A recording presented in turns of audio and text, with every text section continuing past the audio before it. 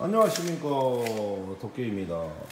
제가 오늘 잠깐 이렇게 유튜브를 올리게 된 것은 태풍이 와서 길을 헤매고 있는 지네를 한 마리 잡았습니다.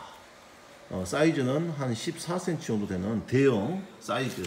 이 시골에서도 보기 힘든 사이즈의 어, 지네를 이렇게 가지고 와서 지금 지네가 닭고기를 가장 좋아합니다. 그래서 닭가슴살 건조시켜 놓은 것을 한 조각을 줬더니 어, 굶은 지가 오래됐는지 허겁지겁 지금 먹고 있습니다.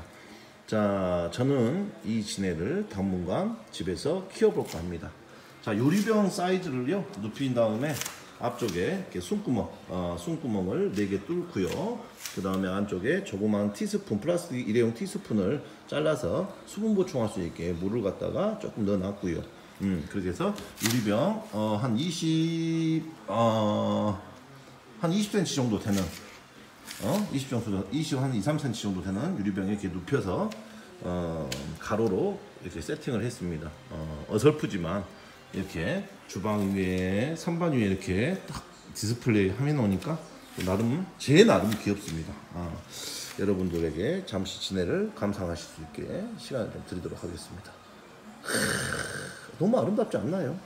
어, 발이 몇 개인가 세어볼까요? 하나, 둘, 셋, 넷, 다섯, 여섯, 일곱, 여덟, 아홉, 열, 열하나, 열둘, 열세, 열네, 열다, 열여, 열일곱, 열여덟, 열아홉, 스물, 스물하나, 스물둘, 스물셋, 스물넷, 스물다섯, 스물여섯, 스물일곱, 스물여덟, 스물아홉, 30, 31, 32, 33, 34.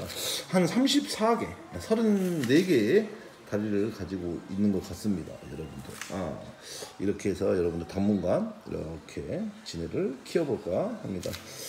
또 제가, 어, 겨울 되기 전에 신기한 곤충들이, 어, 주택 쌓는 재미 아니겠습니까? 예.